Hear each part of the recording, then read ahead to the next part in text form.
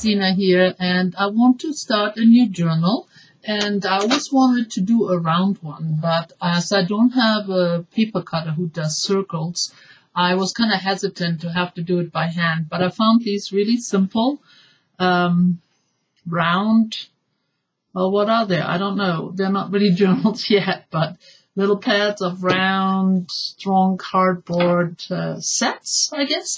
I got two of them they hold five of these circles each. And so I'm thinking of either making one journal with 10 pages or maybe two or five each, not sure yet. Um, my idea is to make a second hole here and either use um, the same rings and therefore recreate a bit of a spine or if there's not enough room um, for the pages to turn with these smaller rings, I have bigger ones I could use. So that's my idea. Now for starters, I'm going to um, cover these with some craft paper. So at this point, I started speeding things up a bit and switched to voiceover. It was just getting a bit too long-winded. So because these circles are six by six inches, it was easy to cut my craft paper just like this with a big piece for embellishments and the two squares to cover the circles. I'm using simple school glue. I like to mix it with a tiny bit of water in a jar so I can get my brush in there. I cut out uh, two squares of 10 different designs and now all I have to do is line it up, use my credit card to smooth it out and get it on those little circles. Now when they're dry, I will use my X-Acto knife to cut off the edges. Quite easy because um, cardboard guides it and here they're all done. I'm planning to use this book to keep a small collection of ephemera in. I received many cute little things through swaps and happy mail, so I need a nice place for it. And here I'm using my nail file to go around it on both sides, and it makes a nice smooth finish.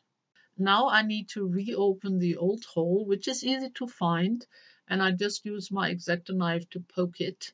And because I don't like to measure much, this little piece of cardboard is helping me to position the second hole. And my trusty crocodile is punching the holes for me.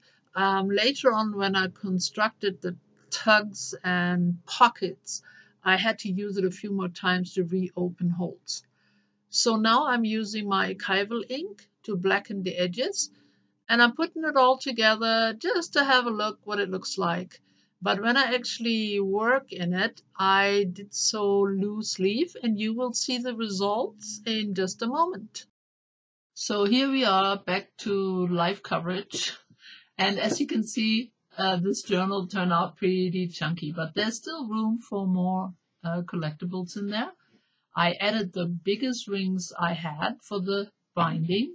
I also added uh, grommets or eyelets, uh, What's the difference? I don't know. I think they're the same thing. I also added, added one here for the closure with just a simple piece of ribbon. Now, um, most pages are very self-explanatory and not that much different to many other journals you've seen before. The only difference is, of course, the shape of the pages. And so I wanted to make sure to make a lot of circular or half circle type pockets and tuck spots. And to make it easier for me, I made myself a little template. So that way, every time I needed the size, I didn't have to use an original and maybe get pencil mark on it. So that was definitely helpful. So let's see what it looks like. Now, every time I used the ephemera piece for a tuck spot or pocket, I made sure to back it with either thin cardboard or some leftover craft paper to make it a bit sturdier. So this one for now holds just a couple little tags. Now here I had a chipboard tag. Now this is very sturdy all on its own, but I did embellish it some. I also added some liquid glitter, fastened it with a paper brad, little fiber here, and yeah, it swings all the way out and right now holds a couple of little tags. This is a little linen sticker and you see also out some printables. And they were sent to me too and really helped me to decorate the background. So here on the next page, again, there are more printables and I added this little pull out. These are old fashioned advertisements from a newspaper and they're kind of fun to read. I also embellished the backside a little bit, added a little tag again with the paper brad. Another one here. They are both images of old fashioned typewriters. Yeah, and then I de decided to make one of these and I don't even know what you call it, turn around looking at pictures kind of a thingy. It was pretty simple. I basically just made a circle smaller than my book so it wouldn't interfere with my rings, cut a little window out, and then just added underneath it on my board whatever images I wanted uh, to be there. And he also added some glitter paint. Now all the embellishments even those little tiny branches uh, were sent to me and they really helped me to decorate everything. And yeah, it was a lot of fun to use up all the little tidbits. This is just a little flower taken from a ribbon. And here on the next page, I made a tiny little door, some music paper, a pretty little teapot, little lace, with a tiny tag. This one has a dress form on it and so does this printable and there's an old-fashioned sewing machine and this is a little very glossy 3D little dress form as well. And then on this side it's a fairly big pocket. It will have lots of room for more. And I made this one from an old greeting card someone sent me. It came in two parts, you know, it opened like this, and I used the other part later on as well. This is a button with the Eiffel Tower on it. It's kind of really cute illustration there. And then I added a little envelope. And this is all like mail related. This says postcard on it and there's some postal images on this one. All right, let's see what else is there. These are some really pretty tags I got. Another little one was a bird cage. And I created these two pockets very simply just by using uh, some craft paper which I doubled. By the way, every time I use craft paper to make pockets or tag spot, I also doubled it to make it stronger. And then first I just uh, glued down the top pocket and then the bottom pocket. Very simple. Now every time things would come all the way to the edge, I continued to use my little nail file to kind of uh, smooth it all out and make it fit nicely. And of course, then I also took my archival ink to put the black back at the edge. And I think it just made it look nicer that way. So they are in here for now. Next page, I made a little belly band It's just a little piece of corrugated cardboard. I'm cardboard. I embellished it, a few little flowers and some little jam. I added actually a butterfly underneath it, but you can't see it so well, so oh well. And there's another butterfly right there, and it holds two pretty little ephemera pieces for now. And here I made a bigger door this is made obviously from a whole circle which I split in half. I gave a fold on each side so I could glue it down and make a hinge so it would open like a door. But before I glued this down, I also made a half circle pocket. Very simple, just, uh, you know, glued around the edges. And there's room for a couple of little ephemera pieces. Now for the closure, I used, uh, let's see, one of these. I had a few of these uh, round tags and I added a little cutout and also these pretty uh, dragonflies. There's one on the cover and one on the inside there. So that is this page. And here I made a very simple corner pocket, one of the few square things in here. Uh, these are made out of a square piece of paper. Just make sure that the little spine on this side, this is a fold, but this is the open side. Make sure you it's closed really well. I used a piece of doily and just wrapped it around and closed it shut.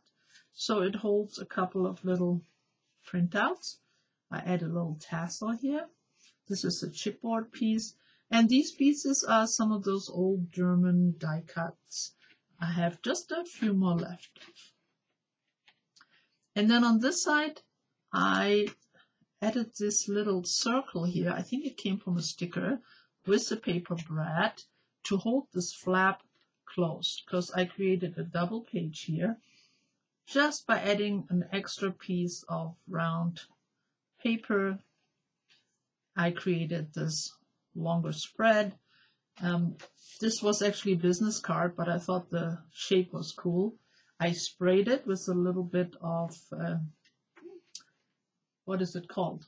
Oh, what is it called? I can't remember. Glimmer mist, right. And this is also one of those, these are both some of those German uh, die cuts. And then I created a very small pocket here.